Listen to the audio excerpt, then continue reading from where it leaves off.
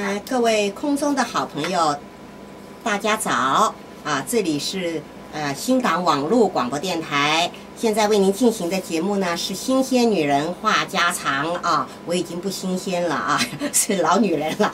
呃，我是主持人邱海棠，来和空中的好朋友们话话家常。一个礼拜很高兴又跟各位听众朋友们在空中见面了啊！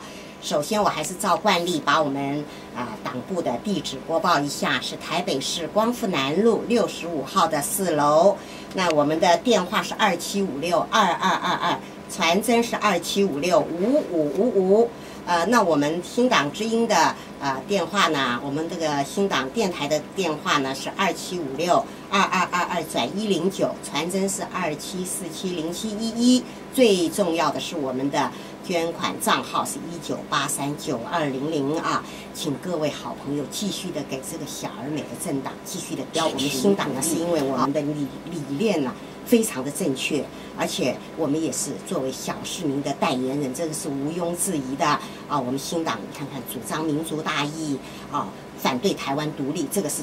最最那个，而且我们是主张宪政民主啊，反对专制政治。我们不愿意像呃有些那些集权国家专制啊，我们主张内阁制，反对总统独裁啊。你看看像李登辉、陈水扁这么二把，我们不希望能够选出像这样子的总统。那美国有一位作家啊，叫朗费罗，他曾经讲过这么一句话，他说：“青年是多么美丽。”发光发热不说，还充满了这个彩色跟梦幻啊！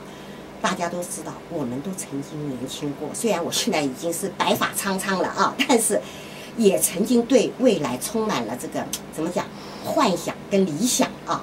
那我觉得三二九这一天呢，可以说是我们中国人引以为傲啊、永志难忘的日子啊。因为这个在一百多年前的这一天，很多的。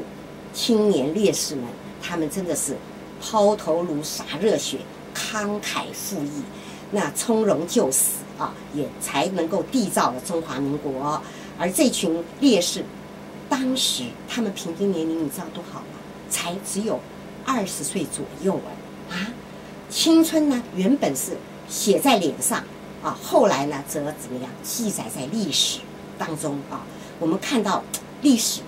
它逐渐的老去，可是他们却怎么样？永远年轻。你到忠烈祠到哪里，他们永远是保持的年轻的，是不是？哦，他们就是我们到了忠烈祠，就去祭拜他们的时候，觉得他们就是向开卷者倾诉自己的壮怀激烈啊。而这批中华民族的青年们，他们所表现出来的高贵的道德勇气呢？可以说塑造了一个千秋万世的典范。